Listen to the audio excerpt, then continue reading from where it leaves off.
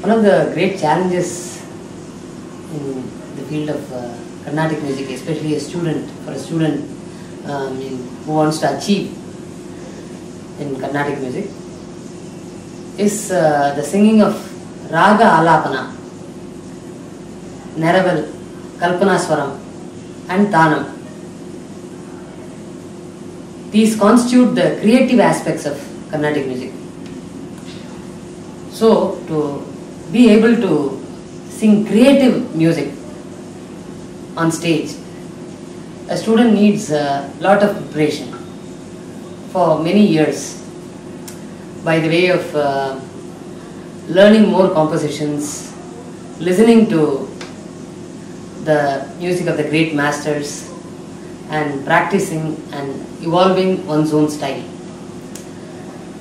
So, the very foundation, the basis of this particular education is uh, developing the proper voice culture so that any phrase or any movement which the raga demands is reproduced by the voice.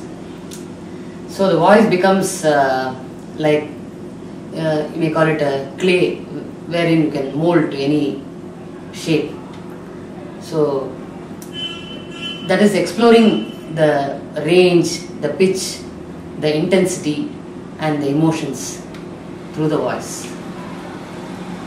Actually, uh, while singing compositions, for each composition, you have to display the correct emotion as uh, demanded by that particular composition. So, everything for the basis for everything is the proper voice culture and the voice culture exercises and training for uh, a few years in the beginning. And when the voice yields and uh, it comes out, it opens out rather, and the singer is able to articulate a variety of uh, phrases, a variety of emotions as uh, advocated by the compositions. He or she can proceed with the other aspects of learning more compositions, uh, the correct diction, the correct articulation, and then uh, moving on to the creative aspects of improvisation. So it is very it is a very phased approach for learning Carnatic music. Initially, the voice culture uh, aligning to the pitch perfectly and uh, ensuring the mobility of voice by voice culture practices, exercises, and then learning a lot of compositions.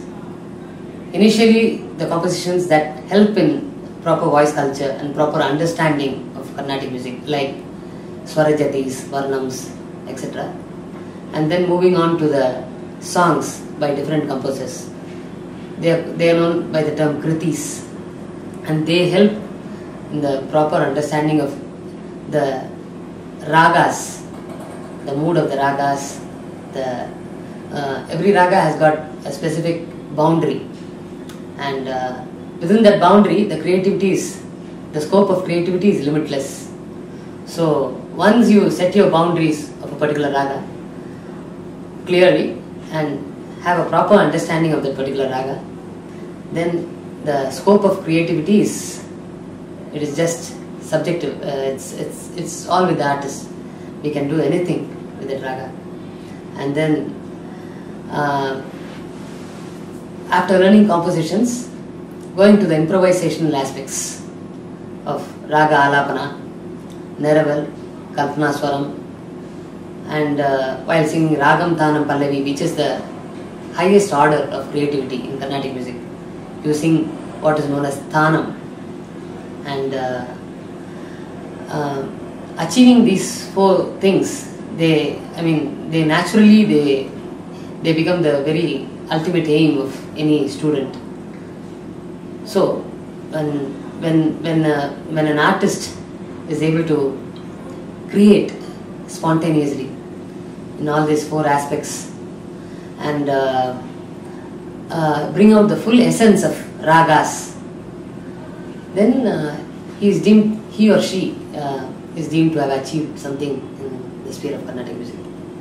So uh, the result is this, and achieving this result involves so many years of dedicated practice, dedicated learning from a guru, the guidance, and listening to the great masters with the guidance of the guru, and practicing.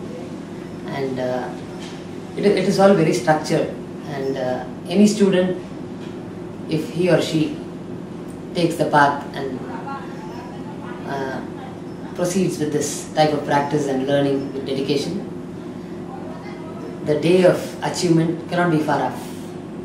So, uh, Guru's main uh, objective and duty is to assist the student, to help the student bring bring out his own music on stage ultimately, and which is which conforms to the tenets of classical music, cla- classical Carnatic